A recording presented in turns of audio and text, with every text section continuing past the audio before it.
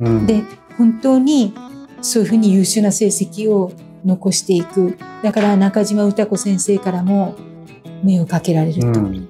でもなかなか家塾を開くには自分がですね、うん。お金がいると、うん。ないと。そういう中で、まあ、あの借金重ねながらまあ裁縫をやって、内職をやって、うそして生きてると。うんでもどうにかなら生活抜け出したいって言った時にその家塾の先輩が、えあの実は小説を書いてええおえ金をもらったんですよね。うんであ物を書くということでこんなお金がもらえるんだっていうのうんを先輩のその成功談を見てしまうんですね。で自分は実力と、まあ、能力があれば立っていけるという、まあ、小説にの世界に、まあ、自分もお生きる道を見出したいと。うん。これがあの女流作家を目指すということなんです。でですからその時のにですね上野の図書館に徒歩で通うんですよ。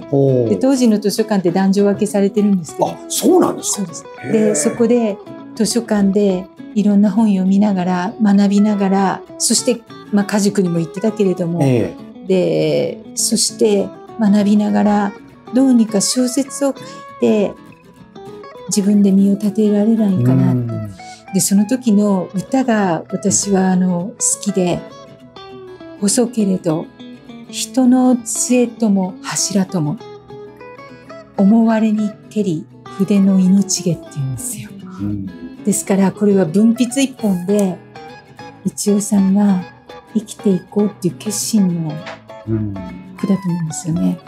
でそうやってどうにか生きていこうとした。だけど日本初の女流作家を目指すわけですよね。あ日本初ですそうですね。女性の職業作家になろうと思ったわけですよね。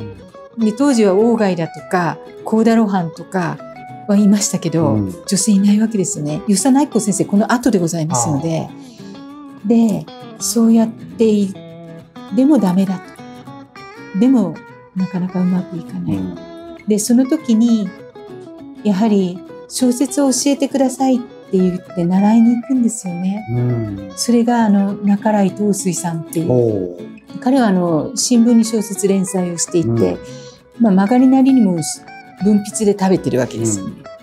でそこへ習いに行くと。でどうもその日記とかそれから過去の作品ですねそれから出てくる「雪の日」っていう作品が後になって出てくるんですけどそれを見るとどうも中井先生のことをお好きだったようで。うんで私は後の短い一葉先生の人生を思うと中井先生を好きだったってそれは成就しないんですね。中井先生も当主だし、家のですね一葉先生も当主だから当主同士で結婚ってことはできないので、最初から絶対に結ばれない恋だったし、まあ、中井先生がどういう気持ちだったかわからないけれども一葉さんは好きだったんだろうな。ただ、秘伝には終わるんだけど心がときめいたりうんもしかして中井先生のことをそうやって思うからいい作品を見せに行きたいっていう思いでもしかしたらいい作品も書けたのかもしれない。それがあのいいところだった。もしかしたら人生の唯一の彩りかなっていうふうに思うんですよね。いやなんかこうお聞きしてるとちょっとこうねこの岡田春江さんがやっぱりこう女性としてやっぱりこのねまあ教授とかこのねは感染症の専門家っていうねそういうなんかちょっと自分を重ねてらっしゃるところもあるのかなっていう。とあのうん。やはり私もあのうん。小説とか文章を書くので、で私自身もあの一葉さんの思いと重なるようなこともありましたので、でも何としてもあの一葉さんの作品っていうのがその中井先生に支持するんだけれども、うんでもお金がなくなるわけですよ。うんで借金を重ねるわけです。で中井先生に教わっていくうちに彼女が成長していくわけじゃないですかは文学的に。いうん文学的に成長した時に自分の大間違いに気づくんですえ。それはは小説は、まあ文学は芸術である。い、芸術。うん、だから食べるためにやるもんじゃないと。あここを潤すためにやるもんじゃないんだと。芸術なんだと。言って、一大、まあ、あの、決心をして、ご家族3人で。だから、今まで持っている書画骨董を全部売り払ってお金にして、うん。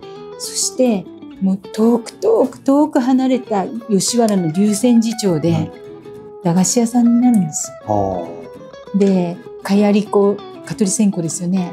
それから、半紙だとか、ふのりだとか、駄菓子だとか置く、万太郎式、つまり、駄菓子屋さんをやるんですよ。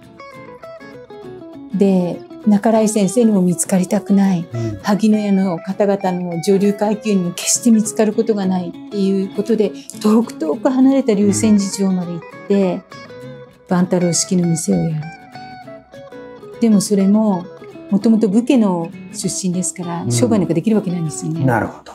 で損をして結局帰ってくる。うん、でようやくその頃になるとどうなったかって言ったら初め萩野屋で上流階級見るじゃないですか。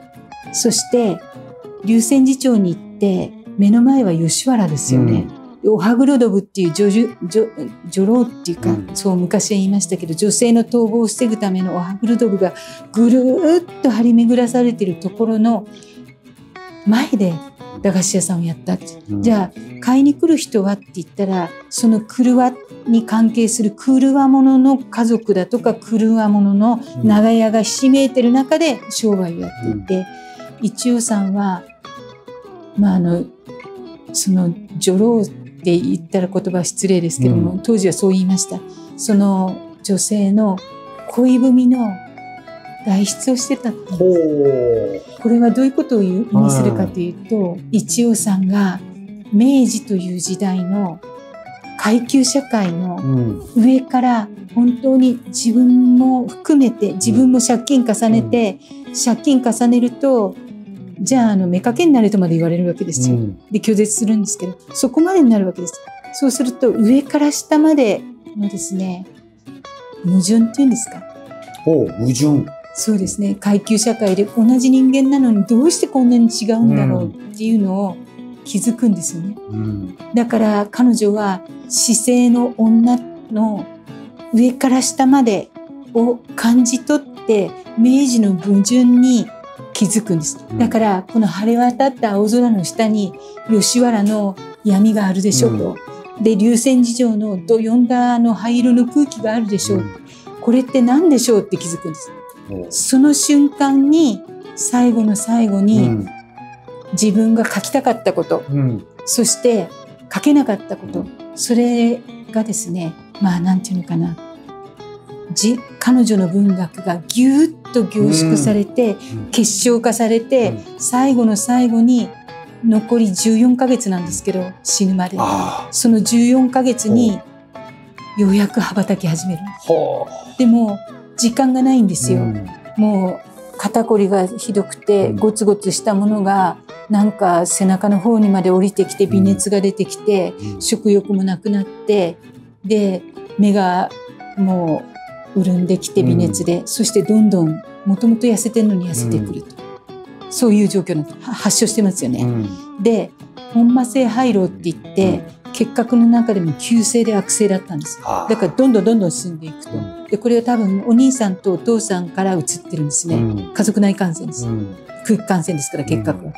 看病してて移ってたの。うんで一応さんはそういう中でお父さんとお兄さんが死にゆくの見てるわけじゃないですか。だから自分がどうなるって分かってたはずなんですね。うん、で一応さんは最後に振り絞ってうん、寝ながらも書くと。はあ、